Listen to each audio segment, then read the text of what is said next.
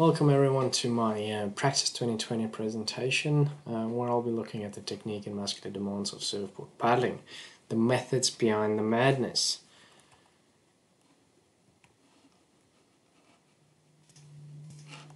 Uh, my thesis flow uh, will be divided into three uh, different chapters. Um, chapter 1, the introduction, 2, 3, 4 and 5 being my uh, two separate studies, and chapter 6 will be a discussion, conclusion, and practical application.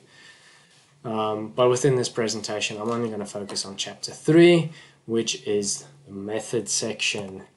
Um, so the presentation will be outline, outlined as follows. I'll start with the background, then I'll jump into the participants, uh, going to procedures, the data collection, and data analysis. Um, so just a bit of background information on surfboard paddling.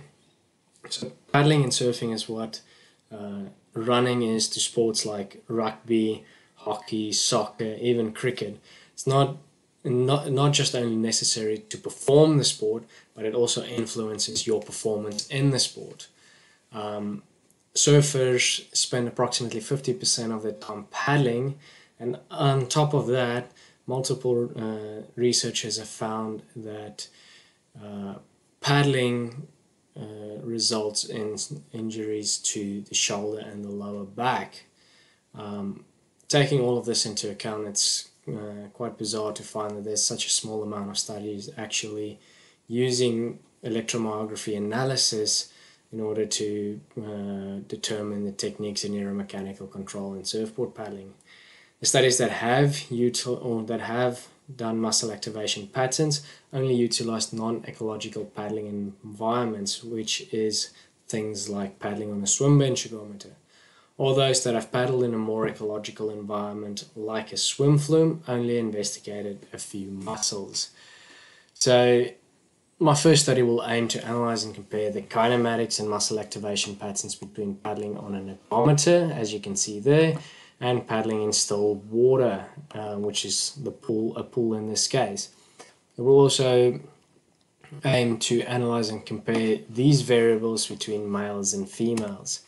Study 2 similarly, similarly will analyze and compare the kinematics and muscle activation patterns while paddling uh, in steady state uh, at a steady state rate in still water versus sprint paddle in the still water as you can see at the bottom there. So just quickly jumping into the participants. Um, for the study, I need 12 males and 12 females, aged between the between 18 to 50, with at least five years of surfing experience, and at the moment surfing approximately twice a week. Um, other than that, they need to be free from any injury or illness that will prevent them from actually performing um, at the best of their ability. Um, when the participants come in, I also check at their surfboard volume, make sure that their volume actually sits within uh, these volumes, so being an intermediate to advanced board at least. So someone using a beginner or an intermediate beginner board uh, won't be allowed to actually participate in the study. Um, so going through the whole procedures of the study, it takes approximately two hours to complete both study one and study two.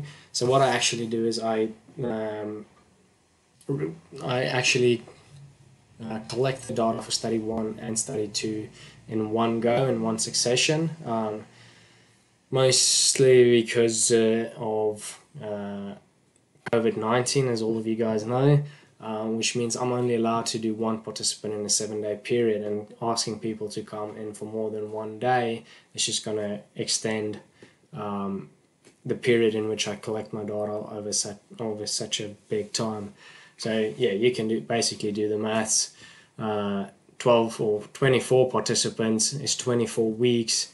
That's quite a few months just to try and get my data collection that I haven't even analyzed or um, write written anything uh, from it. So yeah, it's it's going to take a bit of a while. So um, doing both studies in one go.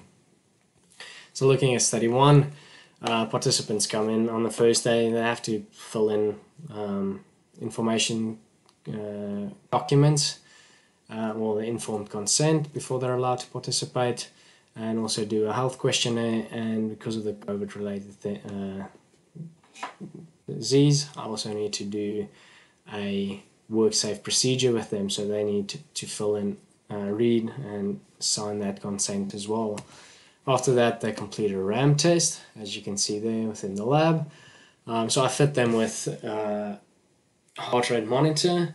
They then paddle on the ramp uh, or on the ergometer for approximately six to ten minutes um, until volitional exhaustion or until I tell them to physically stop. Um, I do this in order to actually determine their peak heart rate.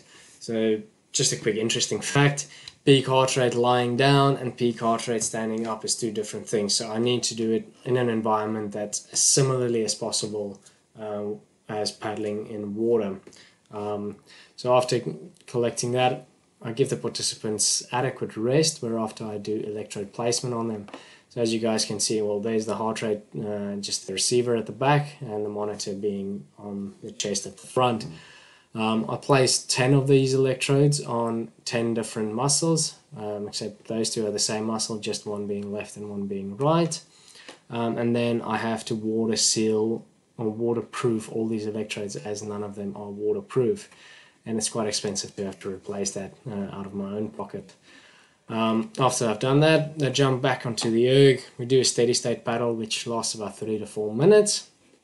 When they finish the steady state paddle, um, they have the opportunity. Uh, so they paddle until they reach 75% of that heart rate peak, which we calculated in the ramp test. Um, and then they paddle in that window for about 20 seconds.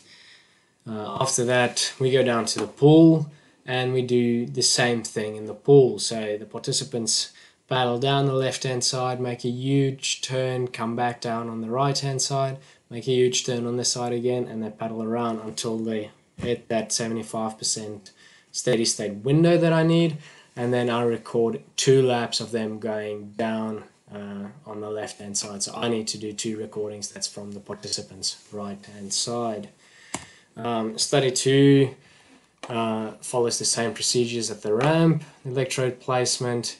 Uh, the only difference is the steady state in the pool is condition one for the study, and after that they do a sprint paddle. So they have a five meter build up. As soon as they get to that orange cone, they need to be at their full paddling velocity. Um, I then record 15 meters of them paddling at that velocity uh, in the pool.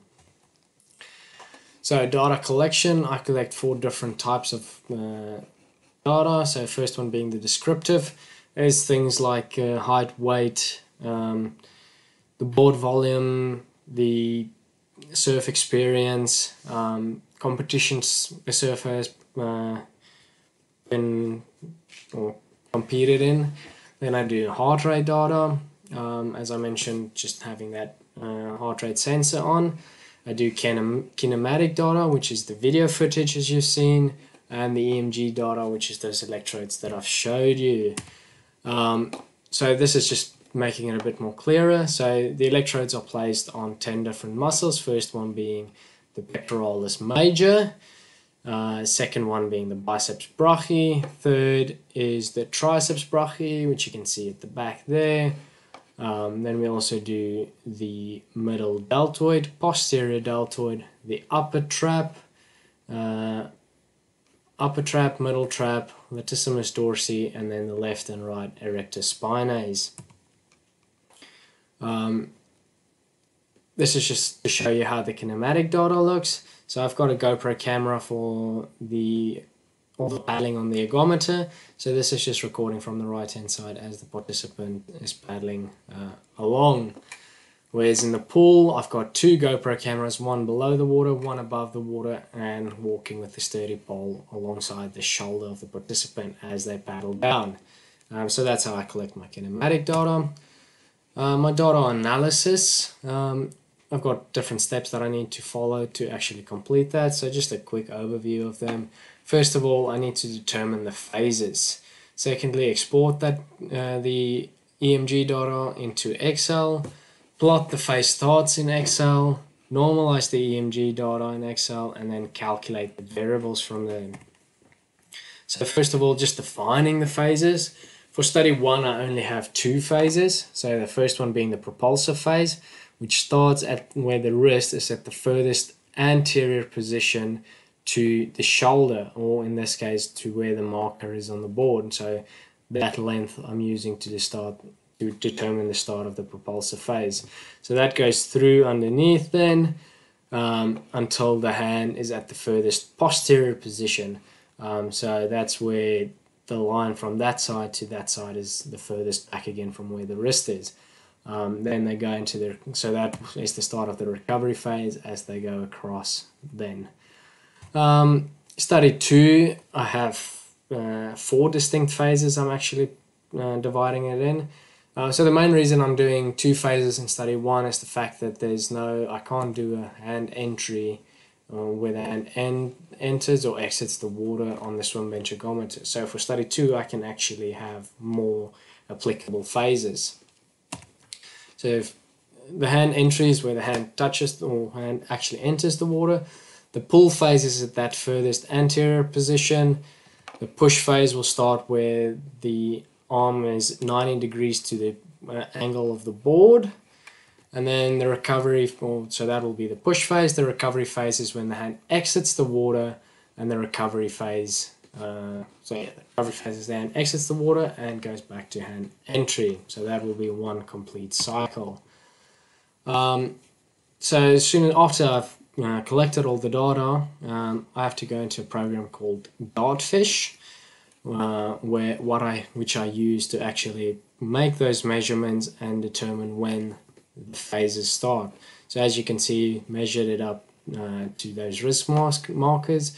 I get a time in seconds there or there, so I record the time and I record the distance uh, of the reach there. Um, unfortunately, I don't have photo of the start of the recovery, but that'll just be with the wrist at this more or less at this position on the way up uh, which will be the furthest posterior, so I get a time for that as well. Um, and also the distance from that marker to where the wrist is then. After that, I go back to my EMG data. So this is how the data looks that I record. Um, so it just gives you all these squiggly lines. Technically, it actually only gives you all those lots of lines you see at the top there. I do I then do a root mean square calculation which then gives smooths it all out makes all the data positive which you can actually start doing something with um, I then export this data to go into Excel which then just gives me thousands and thousands of data points because I'm collecting the data at 2000 hertz so that's 2000 lines or 2000 points for each second and that's 10 muscles so you can do the math on how many uh, data points there is. I then plot the phase starts for each stroke. So I, using that uh, Dartfish program, I then uh, say, oh, okay, that first propulsive phase starts at this time point. I then go through all of them and then I copy them into this raw data sheet over here um, which then goes through formulas to round uh, all the data and count exactly how many data points there is for each stroke. After I've done that, I need to, to normalize the data. So uh, see, for example, there I have 3,100 data points. That one I only have 2,820. I need to make them the same. So I'm averaging them to a percentage from 0 to 100 by jumping by 0.5%. So I normalize it and then after that I calculate I have put down all the eight strokes. I average strokes 2 to 8 just for the running window and then I can start plotting them on the graphs. Um, and then after I've done all of that I actually start calculating the variables that I need. So I need the stroke length in seconds the phase length so exactly how long the propulsive and the recovery phase is or the full phases within study 2 I then determine the peak muscle activation, uh, just a formula again in Excel. And I then uh, determine the burst onset, offset, and length, which is also formulas that I use uh, from Excel to determine where that onset and offset point is and the total length then of uh, in seconds then or milliseconds at the end of the day. Um, if you wish to participate and meet the inclusion criteria, please don't hesitate to uh, contact me. uh, there is my email address. Thanks, guys.